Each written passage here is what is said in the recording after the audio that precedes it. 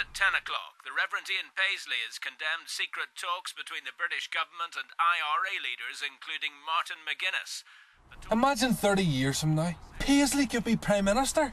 Aye, and McGuinness is his deputy. Nightmare. Come on, let's get home for tea.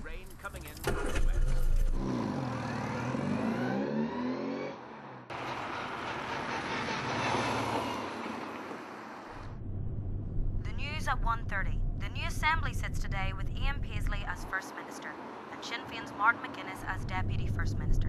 But doubts continue as to whether or not they can work together. You wouldn't believe it, would you? Now for today's weather. Remember what I said to you all those years ago? It'll be a fine And it's still a nightmare. How are they going to work together? Aye.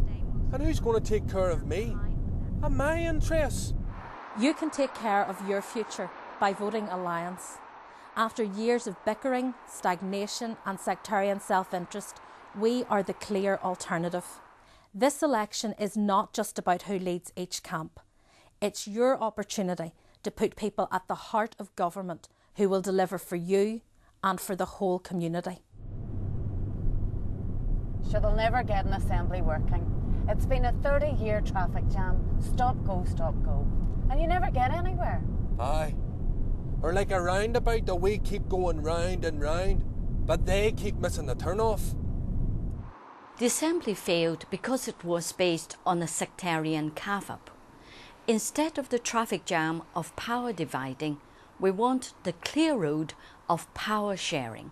Like you, we have had enough of the same tired old rhetoric. It is time we elected politicians prepared to do the job. You can change this. We advocate an alternative that works, that would encourage common sense politics to deliver real solutions on difficult issues, like free personal care for older people, shorter hospital waiting lists, and better roads and public transport. But sure, even if I find the right road, the wheels will come off. Think about top tax and rates rises. Surely there's no way round those.